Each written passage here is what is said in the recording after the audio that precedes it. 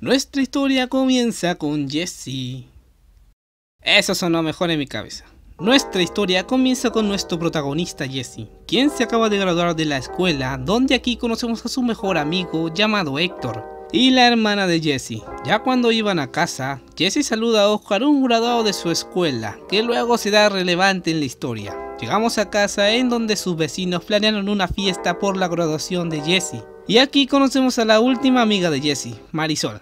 Ellos celebran y festejan la fiesta de Jesse por toda la noche. Al día siguiente Jesse va a comprar una cámara para filmar todos los sucesos que ocurrirán en adelante. Jesse filma el lugar donde vive y en los interiores de su casa. Va con Héctor a hacer uno que otro video estúpido y así así hasta que vemos a Oscar salir de la casa de su vecina que supuestamente hace brujería. Pero luego se tiran uno que otro tequila con su abuela y todos felices. Ya al rato, el par de amigos van al cuarto de Jesse, pero de pronto escuchan uno que otro ruido extraño en la casa de la vecina. Jesse no se la suda y baja su cámara por los conductos que lo lleva a su vecina, que supuestamente hace brujería. Ellos miran a una mujer completamente desnuda. Rico. Pero luego vemos a su vecina hacer un tipo de ritual con esa persona y desnuda. ¡Me lo voy a coger! Se lo cuenta a su hermana, pero ella no cree mucho que digamos. Ya en la noche, los par de amigos irán afuera a prender fuegos artificiales. Esa cosa no prende hasta que de pronto Oscar sale de por arriba corriendo de la policía.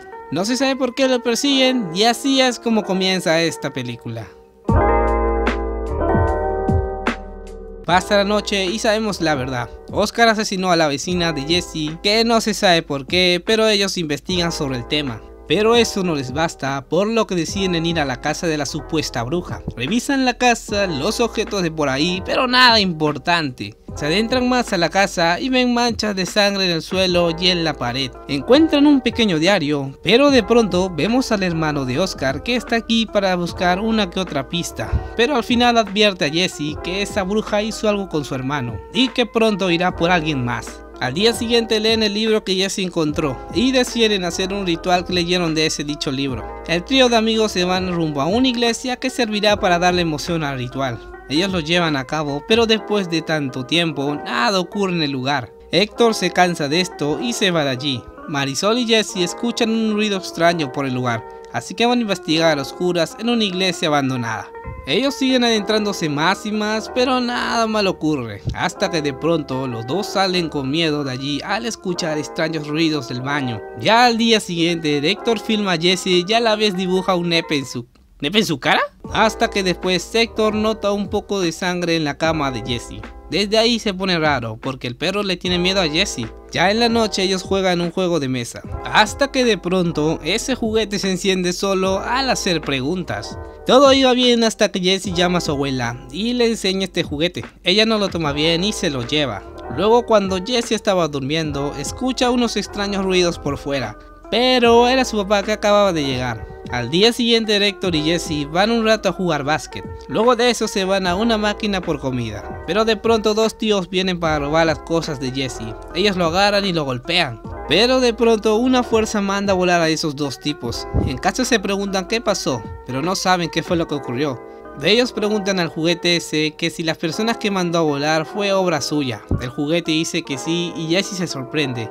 Pero después le pregunta que si es bueno, pero la máquina no le responde. Al día siguiente Jesse llama a Héctor para enseñarle unos trucos. Héctor no se la cree que él pueda hacer algo así, así que Héctor lo decide en intentarlo. Pero solo eso pasa con Jesse. Otra vez cae la noche y Jesse junto a Héctor van en una fiesta por el barrio. Ellos dos no se la sudan y entran allí. Lidian con dos mujeres y la llevan a casa. Pero como su casa estaba ocupada, la llevan a la casa de la bruja que fue asesinada. Jesse se queda con ella solas y comienza el delicioso entre los dos. Pero el muy idiota olvidó algo, así que ir arriba a traerlo. Ella se queda esperando un chingo de rato hasta que presiente que hay alguien abajo. Se asoma para escuchar, pero alguien lo agarra y es nada menos que Oscar. Jesse llega para revisar, pero después de un rato no lo encuentra, hasta que voltea y ve a Oscar quien le cuenta de que la bruja que vivía aquí le hizo esto. Y Jesse también lo tiene, le muestra una marca en el brazo que ella le hizo y que la única manera de sacárselo es suicidándose, porque si no esa marca lo consumirá. La abuela de Jesse viene y Oscar sale corriendo. Jesse va pero no sabe dónde está. hasta que habla con Héctor a lo lejos y de pronto vemos a Oscar quien se acaba de suicidar.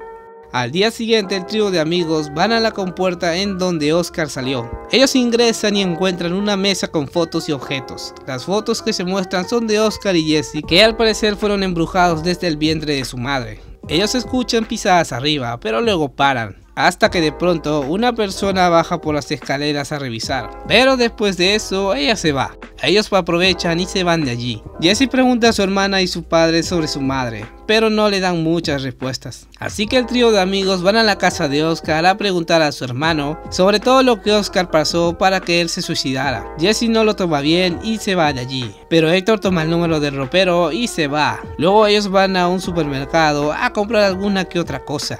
Pero Jesse ve a su amiga hablar con un tipo y él no lo toma bien que digamos, haciéndole botar por el suelo. Jesse no se controla y sigue buscándose peleas, así que sus amigos lo sacan de allí. Él no sabe lo que está pasando, así que le pregunta al juguete sobre eso. El juguete responde las preguntas de Jesse, pero Jesse le pide que lo deje tranquilo, por lo que ese juguete le dice con un rotundo no, ya que quiere algo de él.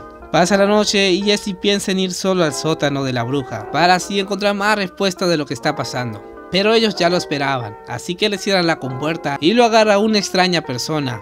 Al día siguiente vemos a Jesse cambiado, a tal punto de dejar la cámara a su amigo. Héctor habla con Marisol y le dice que Jesse es otro, por lo que llama al número que agarró de la casa de Oscar. Hablan con la señora quien le dice que a Jesse ya lo marcaron y que la única posibilidad de salvarlo es haciéndole un ritual que no le cambiará por completo pero servirá de algo. Héctor llega a casa de Jesse a ver si ha mejorado en algo, pero solo lo ve a él como es que tortura a su perro. No mames, pinche desgraciado. La abuela de Jesse va en busca de un purificador para preguntarle sobre si hay alguna manera de sacar el mal de Jesse. Pero no sabemos nada más y la vemos a su abuela en casa para hacer un tipo de purificación a Jesse. Él no lo toma de buena manera y la detiene. Pero de pronto algo ocurre. A Jesse le duele el cuerpo y después de un momento de silencio la buscan pero no lo ven hasta que se presenta como un demonio. Pero luego de eso, él se queda inconsciente, así que lo mandan a la cama, pero al día siguiente vemos que está con fiebre, así que le darán un baño, pero de pronto su abuela se desaparece.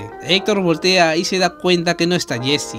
Él se va hacia afuera, pero ve a Jesse mirando algo y se da con la sorpresa que él botó a su abuela de las escaleras. La abuela queda hospitalizada, así que los dos piensan en traer a Jesse, que al parecer está en una casa que realizan rituales. Ellos van allí, pero de pronto el auto falla, hasta que ven a Jesse al frente pero pasa un buen rato y Jesse se aparece al lado del auto, agarra a Héctor y lo estrangula. Marisol lo noquea y se lo llevan a casa, para que así no se vaya a ningún lugar. Pero de pronto un auto viene y se lo llevan a Jesse para así comenzar con el ritual. Héctor y Marisol no saben qué hacer, así que van a la casa de Oscar para hablar con su hermano y pedirle de su ayuda para salvar a Jesse. El hermano de Oscar no se la piensa y va con ellos para matar a esos tipos. Revisan la casa donde se realizará el ritual y examinan el lugar, pero no pasa nada, hasta que se adentran más y llegan como a una especie de cárcel donde hay comida. Pero de pronto ven a una mujer y empiezan los balazos por el lugar. Marisol y Héctor corren a la casa y se encierran allí. Héctor revisa la casa y deja sola a Marisol.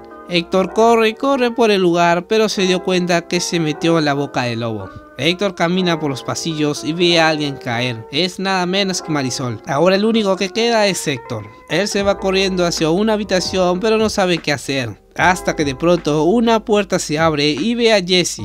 Él lo persigue pero llega a otra habitación donde hay una extraña puerta. Jesse rompe la puerta y entra a la habitación. Héctor entra en la puerta extraña que lo conduce a una casa donde se realizó la primera entrega de actividad paranormal. Héctor ve a una chica, así que le hace unas preguntas pero ella grita y su pareja baja, pero solo para ser asesinado por ella. Héctor no entiende nada y se va del miedo, pero Jesse lo ve y lo termina matando a Héctor. La cámara cae y después de un momento esa chica lo toma. Ella lo apaga y así es como termina Actividad Paranormal Los Marcados.